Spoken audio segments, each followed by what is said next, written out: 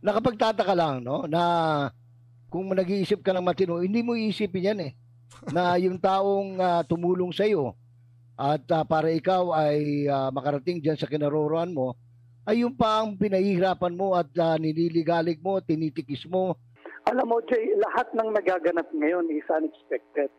At uh, it's very out of his character, yung mga kaganapan. Simula nung siya ay naging Pangulo. Well, at least siguro yung mga first 3-4 months ay uh, maayos. Sang-ayon ho tayo dyan sa sinabi na yan itong si Atty. Vic Rodriguez na meron ho talagang excessive use of power. Hindi naman ho hostile yang si Pastor Apollo Kibuloy.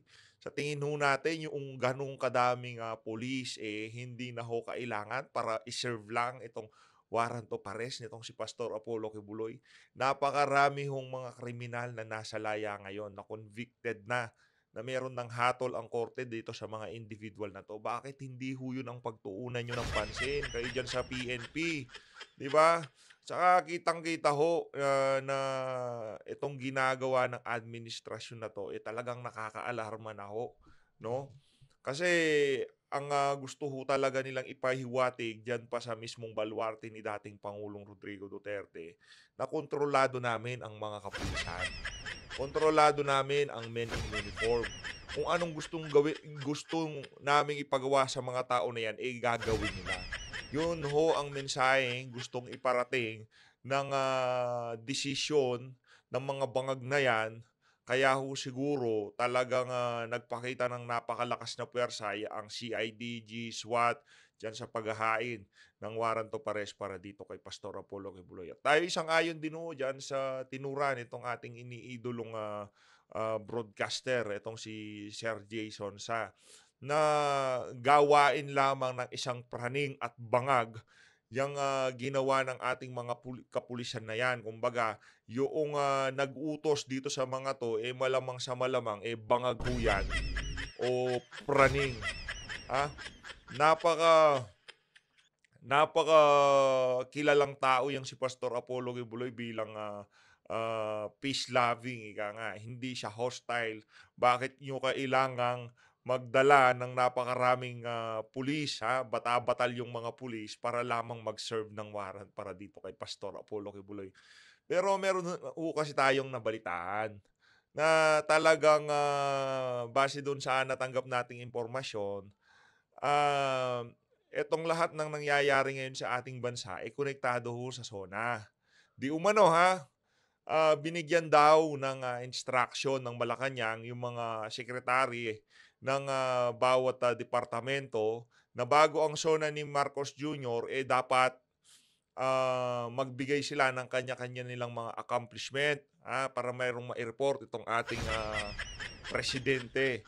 Uh, at uh, yung isang sekretary daw di umano eh nagbida-bida kaya talagang uh, uh, nagpadala ng bata-batalyong SWAT at uh, napakaraming pulis ang uh, talagang uh, gusto ho nilang uh, i-deploy para mahuli itong si Pastor Apollo Kibuloy para sa susunod na zona eh maisama ho ito ng ating bangag na presidente. Bangag sa kapangyarihan. Maging tayo, hindi ho tayo makapaniwala na aabot tayo dito sa punto na kung saan itong si Pastor Apollo Kibuloy, itong uh, SMNI at ang uh, buong uh, KOJC, eh didikdikin ng ganito ng administrasyon itong si Marcos. Ah, ibang klase yung mga kababayan. A dictator nga ho talaga. Pwede na ho nating tawagin itong administrasyon na to na a dictator. Bago natin umpisahan ng ating talakayan, eh gusto ho muna nating uh, i-shoutout itong si Sir MJ Mondihar at itong si Sir Jason sa palakpakan ng uh, gawan lang ho natin ang mabilis ang reaction video, yung kanilang panayam dito kay Attorney Vic Rodriguez. Maging itong si Attorney Vic ho mga kababayan, eh hindi pa rin ho makapaniwala sa mga ginagawang uh, desisyon ng kanyang uh, malapit na kaibigan noon. Siguro hanggang sa ngayon, uh, kaibigan pa rin yan itong si Attorney Vic no dahil ang pagkakakilala niya daw dito kay Marcos Jr. eh hindi niya daw hindi daw niya gagawin yung mga ganyang klaseng galaw uh, uh, sa pagkakakilala nitong si uh, Attorney Vic Rodriguez dito kay Marcos Jr. Ito ho mga kababayan, shout out ho muna natin ang ating uh, 26,500 new subscriber. Kaya sa lahat ng bago nating subscriber dyan, maraming maraming salamat ho ah, sa pagsuporta sa PH Update. Ito na ho, ah, itong si Attorney Arnedo Velera. Ang sabi ho niya, panawagan kay PBBM at Senado. O nga no, ano ho kaya nangyari sa ating Senado, di ba? Noong panahon ni dating Pangulong ah, Rodrigo Duterte, pagka merong ganyang klaseng ah, mga pag, pang-abuso nitong mga kapulisan, eh, meron nung investigasyon kagad yan sa Senado, di ba? Tsaka sa House of Representatives. Marami hong mga senador, congressman ang nagbibida-bida para kundinahin yung mga ganyang klaseng pag-abuso sa kapangyarihan. Ang sabi ho, imbestigahan at i-condemn nyo ang ginawang pagpapadala ng persang militar at paggamit ng labis na persa sa pag-execute ng warrant of arrest sa isang tao kay Pastor Apollo Kibuloy. Kailangan sa tingin natin ha, para magkaroon ng guidelines ang ating mga kapulisan, eh dapat to siguro mapag-usapan to sa Senado. Senator Bato de la Rosa, parang parang darami ho ata ang trabaho nyo dito ah. Kailangan nyo hutong anuhin, kailangan nyo hutong pag-usapan sa Senado kasi kung ah, ah, ano pa lang eh, ah, aligasyon pa lang yan eh. 'Di ba? Aligasyon pa lang ho yung kay Pastor Apollo Kibuloy, wala pa hong napatunayan.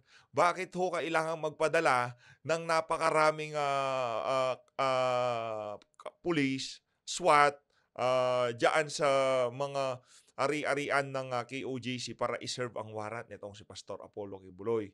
Ah, ano nga eh, parang ang dating blind blindsided tayo dito eh kasi ang ah, naging issue diyan sa pagpapadala ng SWAT na 'yan, ang ah, ah, ano natin, kumbaga yung focus natin dahil 'yan doon sa pagkaka-relief noong mahigit 30 pulis ah, diyan sa Davao City, 'di ba? Baka silang mag-take over diyan sa ano, diyan sa Davao, ha?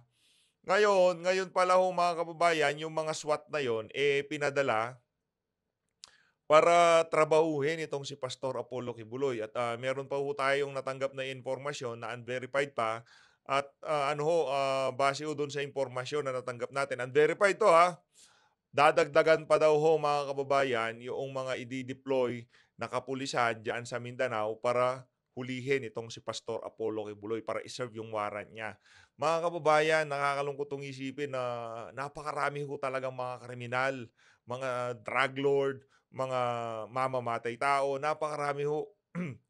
Nagkalat, ha? Meron na ho silang ah, hatol sa korte na mga talagang convicted na mga guilty ang mga yan beyond reasonable doubt. Itong si Pastor at Apollo Kibuloy, eh mga aligasyon at, at pawang ah, ah, chismis pa lang ho itong mga aligasyon sa kanya pero nagpadala ho ng ganong kalasing puwersa itong administrasyon ni Marcos Jr. Kaya talagang nakakalungkot ho ah, talagang ah, paglabag ho ito sa karapatan ng ating ah, mga kababayan na miyembro ng ah, KOJC at talagang kitang-kita ho ang pagmamalabis na ginawa nitong mga kapulisan na to. Maraming nasaktan, marami hong sinampal, maraming ah, tinalian ang kamay dahil merong ah, daladalang mga itak dahil talagang magdadala ng itak yan kasi mga hardinero yung mga yan. Ha?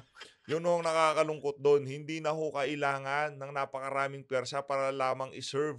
Yang, kasi ho, ang, ang gusto ko sigurong mangyari nitong mga ano na to, nitong mga SWAT at mga pulis na to dyan sa PNP. Akala ko siguro nila eh mga violente, mga merong armas itong ah, nasa KOGC.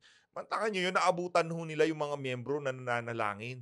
Ah, paano, paano ho nila sasabihin na paano ho nila ah, napunta, paano ho sila napunta doon sa desisyon na magdala ng sandamukal na armas. Akala mo talagang ah, yung pupuntahan nila eh talagang ah, violente eh, talagang ah, full battle gear ho sila eh. Ngayon, kung yung ating mga kababayan eh talagang ah, papalampasin lang ho ito, eh lalo lang hong mang ah, aabuso itong administrasyon na to. Ibig sabihin, ang ah, papasok ko sa utak nila, eh wala namang pakialam mga Pilipino eh. Kita nyo naman kung paano namin ipinlex yung aming ah, mga muscle dyan sa Davao City. Hindi nga pumalag yung mga Pilipino. Okay lang sa kanila. Kaya lahat ng kalaban natin, pagka gusto nating ah, tirisin o gusto nating ah, pwersahin, kayang-kaya na natin yan. Di naman magre-reklamo yung mga Pilipino. Yung mga senador, di naman magsasalta yan kasi takot yan. Di ba? Asan na si Senator, ah, ano, bakit di ho sila nagsasalita? Sa tingin niyo ba yung ginawa ng mga kapulisan dyan sa Davao City, eh, nararapat pa rin? Unahin na natin itong si Senator Francis Tolentino o itong si Senator Robin Padilla, Senator Christopher Bongo, itong si Senator Bato de la Rosa. Hindi pa ba ho sapat ng mga ano yan yung mga naglipang mga ah, video footage ha, sa social media para magsagawa kayo ng investigasyon o di naman ho kaya ah, i-call out nyo ang pamunuan ng PNP ah, na sobra-sobrang kapangyarihan o excessive use of, power ang gi- ginawa nila diyan sa pagsaserve ng warrant na yan kay Pastor Apollo Quibloy.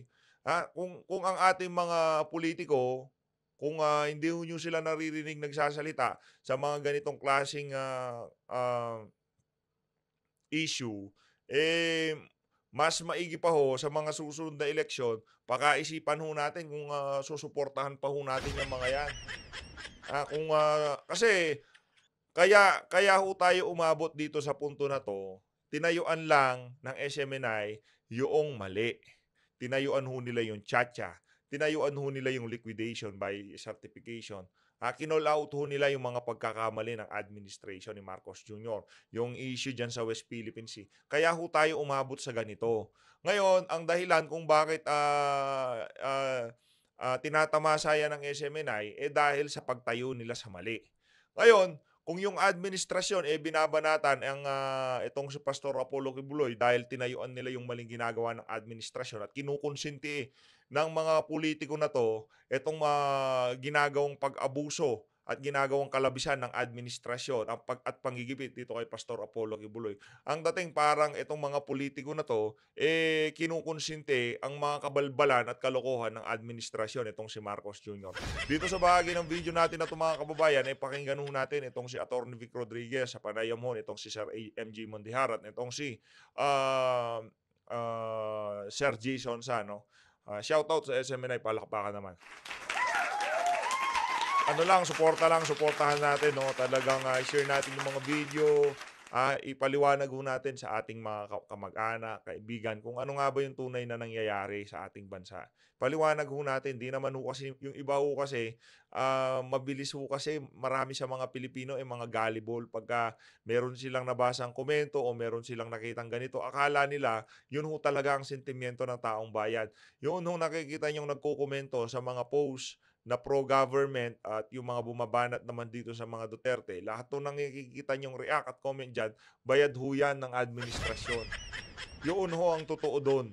Kasi yung ordinaryong Pilipino, hindi ho niya pag-aaksayan ng panahon na out of nowhere, babana, bigla ka na lang ng babanat dito sa ano sa SMNI. Bigla mo na lang babanatan ito si dating Pangulong Rodrigo Duterte.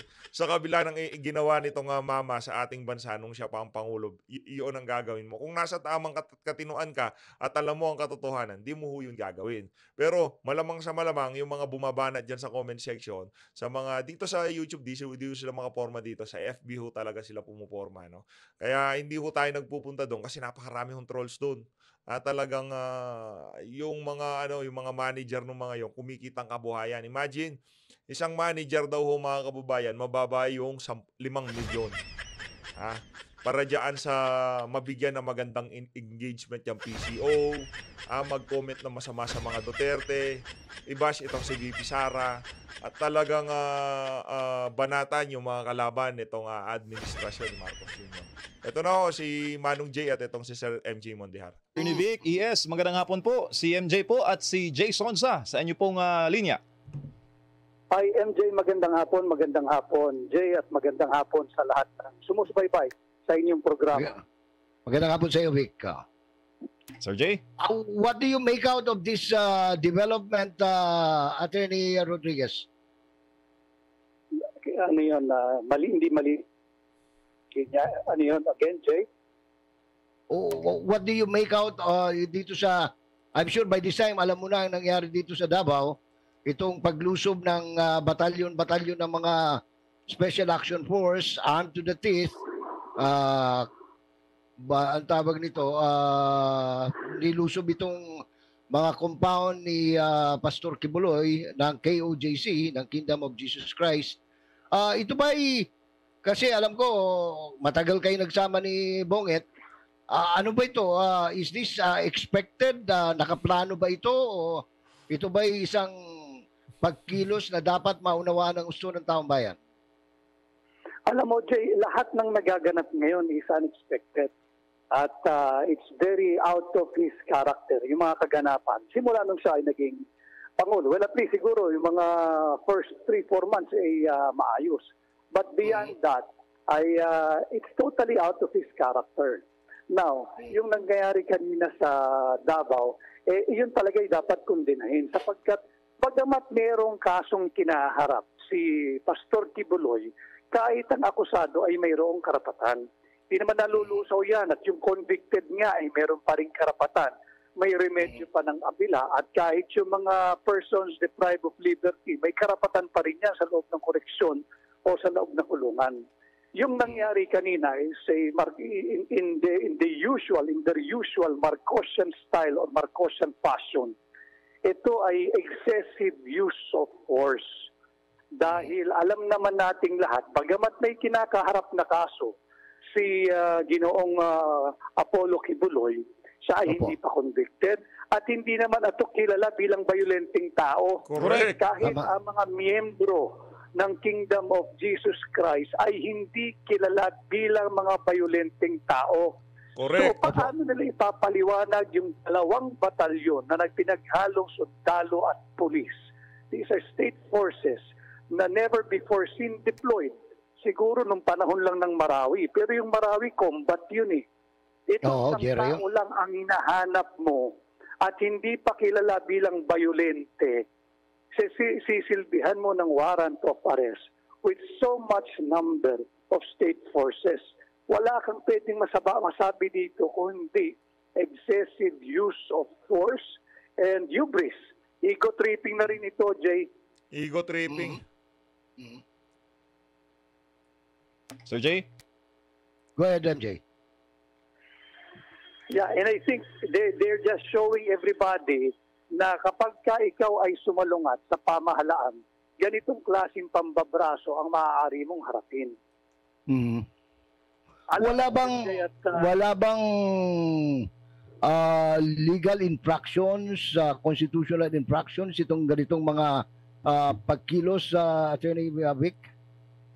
Uh, full disclosure, Sure. Jay, I'm not the lawyer and I'm not lawyering for uh, Pastor Kibuloy. Opo, opo, With opo. due respect to his lawyers, uh, alam naman nila yung mga legal remedies available to them as of this very moment.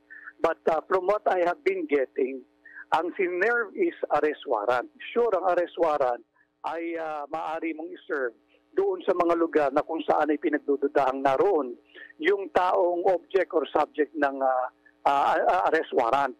Subalit, yung paggamit ng labis-labis na puwersa at yung pagpapadala ng bata-batalyong mga state forces, yan ay not justifiable.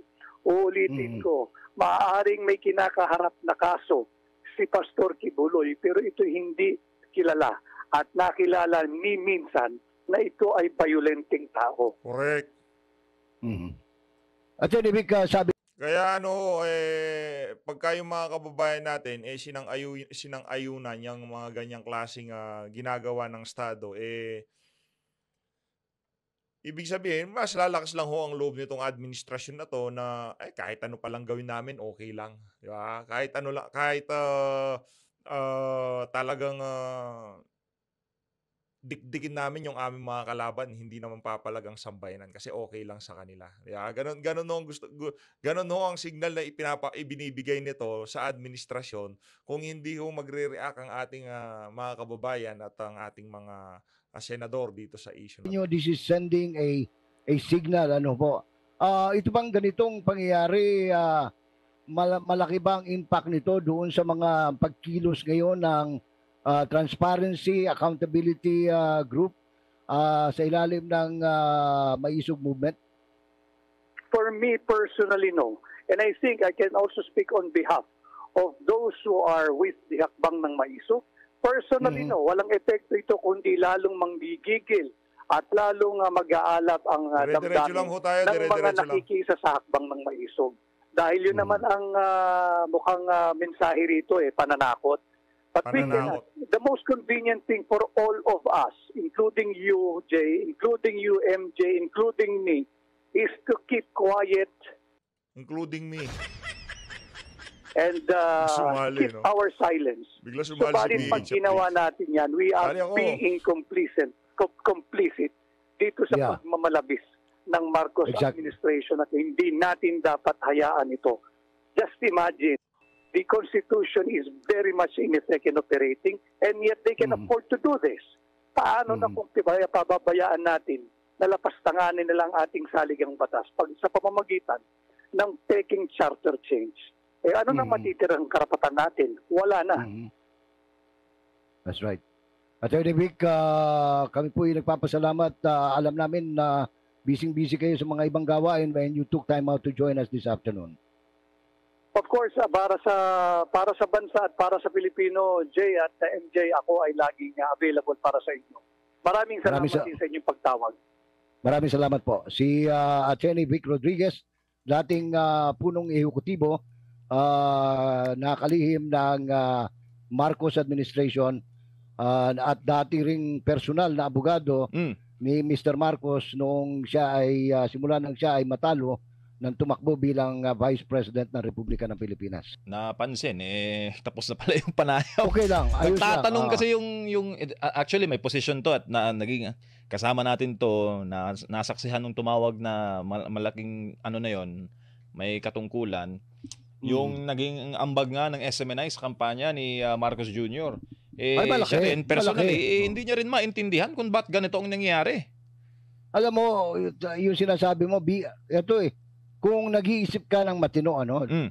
ah, Mm. ah, ang tawag sa English diyan, this is beyond the commerce of man. No? Mm. Hmm, Hindi mo isipin kasi kung ah, talagang tutuusin, hindi dapat nangyayari ito dahil unang-una, ah, kahit na noong tumatakbo pa lang senador, si Mr. Marcos, ah, pictures will not lie and videos will not lie. Ah, ilang beses siyang pabalik-balik dyan ah, sa Davao kay Pastor Kibuloy, including pag-akyat niya dyan sa Glory Mountain at saka Prayer Mountain ah, para humingi ng sa tulong, no? Ganon din nung tumakbo siyang vice presidente. Ganon din nung tumakbo siyang presidente. As a matter of fact, ah, walang gustong mag-interview sa kanya sa mga mainstream media Ayan, oh, maliban ayan, ayan. sa ah, anong pangalan nito? Ah, SMNI. Correct. Ah, kasi nga lahat lahat 'yan yung yung mga Ito, ito yung mga nangyari nung nagdaang eleksyon na nakalimutan ng mga bangag na opisyal ng ating napamahalaan ngayon. No? Mabili, pag, pag bangag eh, mabilis makalimot? Ganun ho ba yon? Pag, pag ho ba mayat maya bumabanat eh, pagka merong ah, sa bagay, no? Pagka ho kasi mga bangag na ganyan, eh wala naman ng pakialam yan sa mga tumutu- tumulong sa kanila. Mabilis yung makalimot yung mga yan. Maka iniisip na lang nila yung ano nila, mga kabangagan nila. Wala na silang pakialam, nanalo na eh. Anak ng veteran pala. nananahimik ngayon ng mga mainstream media. Lahat sila noon kung kung upakan si ah, Bongbong Marcos, ganun-ganun na lang, no? Ah, pero nung sa hindi may paliwanag na kadahilanan, eh iba ang kanilang posisyon ngayon. Pero that that's between them, no? Ah, tayo dito, hindi man sa pamuiboy o sa Binisaya pa, Mm. ah nakapagtataka lang no na kung nag-iisip ka ng matino, hindi mo iisipin yan eh. Na yung taong ah, tumulong sa iyo at ah, para ikaw ay ah, makarating diyan sa kinaroroan mo, ay yung pa ang pinahihirapan mo at ah, nililigalig mo, tinitikis mo at pinapakitaan mo ng ah, ah, kademonyuhan ano, so to speak, no? Ah, dito sa pangyayaring ito. Bahagi na yata yan, Sir Jay, ng hiwaga ng buhay. Hindi ko maintindihan din kahit kasi umalis na itong mga nakikita ko yung live ah, ah, yung feed no. Ah ewan ko kung ito ay kaninang umaga Kaninang pa. umaga yan. Kaninang umaga po yan. Oo, kasi kung hanggang ngayon nandiyan pa rin yung mga yan ay talagang salbahe na. Mm. Ah, mga kasalbahihan na 'yon, no? Oh. May nagbulong, Sir Jay, baka daw magdala ng tirgas. Nako po. Ay, oh, grabe Anong naman. titirgasin nila? Grabe, ano? Grabe naman. Eh, hindi lang po tayo ang ah, nababahala at nababagabag Wag sa mga nangyayari sa Ako, Pilipinas. Pagka ano, pagka ginawa ho nila, sobra na yun mga kababayan. Kasi ano yun eh, Ba't, ba't, ba't ka gagamit ng ganun? Ah, Napakasakit ho nun. Ay, yung mga miyembro ng KOJC, pagka ginamitan ho ho nyo ng ganun, eh talagang maghahalo ang balat sa tinalupan sa tingin natin. At pagka kung sakali mang nangyari yun at hindi pa rin umimik. Ah, kasi, kasi ang gustong palabasin sa report ng ah, mainstream media, eh violente. Ha, violente ho. Violente ang mi- mga miyembro ng KOJC. Ang sinasabi ko kasi, nung isiniserve, gustong pumasok nitong mga ano na to, wait lang po, hintayin natin yung abogado namin. Mag-usap tayo ng maayos. Pero itong mga ano, itong mga SWAT at itong mga otoridad, eh talagang namumuwersa ho. Ngayon, kung nabuhusan kayo ng tubig, ah, na, na, nabombahan kayo ng bombero, eh, grab. Hawak-hawak nyo mga armas, panggurgur yan, yung tubig lang, nasaktan kayo sa tubig. Ang tindi. Ibang klase ho talaga. Ang gustong i-portray ng mainstream media, eh, pagdating ng, ah, ng mga otoridad doon, eh, mga ah, violente yung membro ng ah, ah, KOGC. Yun ang gusto nilang ipakita. Sana, para dito sa mga senador, kay Senator Bato de la Rosa, eh magsalita ho kayo, dati ho kayo sa, ano, dati ho kayo yung chief PNP. Ah, kahit sino man dyan sa mga senador na yan, kayo ho ang ah, pinaka mas nakakaalam doon sa tamang procedure kung paano mag-serve ng warrant at kung gaano katinding pwersa ang kailangang ibigay sa pag... ano ba naman yan? Senator Bato! Sabi ko nga kanina umaga, wag na nilang silaban pa yung Hindi tayo galit kay Sen Bato ha. Kumbaga, ah, kasi pag nagsalita siya dyan, papakinggan siya. Dati siya chief PNP, alam niya yung mga ah, rules at saka procedure sa pagsasab ng warrant. At alam, alam ho niya, alam ho niya lahat. Kaya iniintay din ho natin kung anong masasabi nitong si ah, Pastor ah, Senator Bato dito sa issue na to. mm, nag-aapoy na damdamin, no? Kasi ah ah, baka mamaya sa kakaano nila dito biglang may may pumutok sa Maynila, may pumutok sa Central Luzon. O baka mamaya eh ang mismo mga tao ng ano mag-alsa. Oo, na hindi na makatiis dito sa kanilang ginagawa nila. Tandaan natin, marami sa mga nandirito sa Davao, eh may mga pamilya sa Luzon, may pamilya sa Visayas. Mm. Oo, kung nagagawa nilang ah, ah, supilin, ha? Kung ah, nagagawa nilang ligaligin o dahasin, no? Itong mga kababayan natin dito sa Davao, ah, eh magagawa rin nila 'yan sa ibang lugar, no? Tsaka hindi lang yun na Sir Jay, ang ating po mga kababayan ay dahil siguro ang kaibahan ng panahon ng si- sinaunang martial law ay walang social media noon. Eh ngayon, na- napakatindi, parang kidlak po yung transfer of information. Kaya talagang ano eh, talagang mas informed yung taong bayan kumpara nung ah, unang batas militar sa Pilipinas. At second, noong nung araw pagka kaya nga ang ginawa ni Marcos noon, sinara lahat ng istasyon eh. Mm. Para walang makarating sa taong bayan eh. Ngayon iba na eh.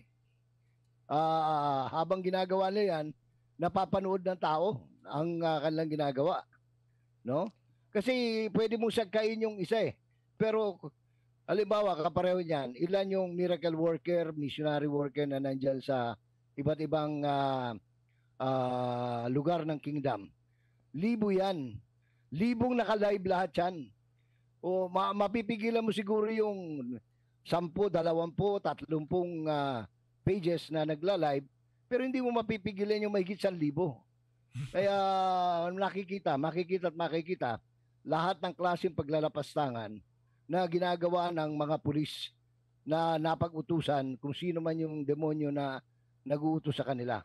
Tsaka, Manong Jay, Sir Jay, kung ikaw ay taga Davao at kung ikaw ay ah, masugid na tagapagsubaybay ng SMNI, ang- lahat ng mga mensahe ni Pastor ay for restoration, pag-ibig, Hmm. pagpapatawad, pagbibigayan, pagiging makadiyos, pagiging makatao. At ang dalawa Pagmamahal niya, sa bayan. Oh. Eh, ang po ba ay tamang treatment? Napadala mo ng dalawang batalyon, mayroon ka pang chopper na paaligid-aligid ah, para kung makuha, eh, sasakay na lang doon sa chopper. At ah, may mga sniper pa, Manong Jay sa gilid, no? Nag-aabang. At sabi nga ng Ah. abogado natin na si Attorney Israelito Torion, these people are on a mission. Correct. They are in on a mission. Ah, kasi nga ah, sabi nga ni June Ledesma, isa sa mga batikang ah, mamamahayag sa Davao City. ah, pag ito'y parang nabuhay yung Mama Sapano ah, ano eh, MJ eh. Mm. Ah, kasi nung lumusob yung Mama Sapano dahil sa napagutusan, no? Nung ah, the powers that be at that time, no? Ah, including yung PNP chief noon, anong pangalan noon? Si ah, pati si President Pinoy. Si Sila Purisima, Purisima ba eh. Oh, si Purisima. Oh, si Alan. Eh tapos wala silang suporta. Ah, hindi sila humingi ng ano, tinago nila yung kanilang mission. Ah, pero nung makuha, eh may helicopter. Ang helicopter pa, Amerikano pa may dala. Grabe, Oo. no? Kaya hindi ako nagtataka kung yung mga helicopter na umali-aligid dyan, ang, pasa ang pasahero niyan yung Amerikano. Nako. Eh, Ma- Manong Oo. Jay, naalala mo, ah, may mga ganito ring insidente sa US. No? Mm. Kaso yung talagang mga kapatid namin sa US, kapatid natin sa US, nabulaga talaga sila. Ito, matagal na nating inaasahan na may ganitong gagawing um, mga kasamaan itong ah, administrasyon. Eh, US, no? US government. Eh, tropa ng presidente ngayon yung mga kano. Eh, alam na kung sino ang nasa kodli nito. Correct. Kaya hindi ko anong tawag ito, hindi ko masisisi kung nag-iisip ng ganyan yung iba na baka ito ay ah, isang pinagsanib na pagkilos ah, ng ah, mga kinatawan ng puti at saka yung tuta ng puti, no? Ng tuta ng kano, no? Yung tuta ng puti na mahilig sa puti. Ayun na nga mga kababayan, dito na muna tatapusin ang ating reaction video. Ah, marami salamat sa pagsuporta sa PH Update. Tuloy-tuloy lang ho tayo sa pakikipag- pakikibaka ha, sa nangyayari ngayon sa ating bansa. Wag ho tayong pa- panghinaan ng loob kahit na yun ho kasi ang gusto nilang mangyari kaya ah, ginawa ho yan ng ah, administrasyon. Ah, gusto ho, gusto ho nila ano yan kasi parang ah, ah, magkakahalo na eh. Meron ng mind game, meron ng ah, ah, intimidation, yung ah, para doon sa mga supporter, panghinaan ng loob, mapaki, ma-flex yung kanila. Marami ho silang ah, gustong ipakita dito sa isa na to, pero tayo ho, hindi ho tayo magpapatinag dito sa ginagawa na to ng ah, administrasyon ni Marcos Sr. Dire-diretso lang ho tayo. Maraming maraming salamat ho sa pagsuporta sa PH Update. Mag-ingat ho kayong lahat. Mahal natin ng Pilipinas.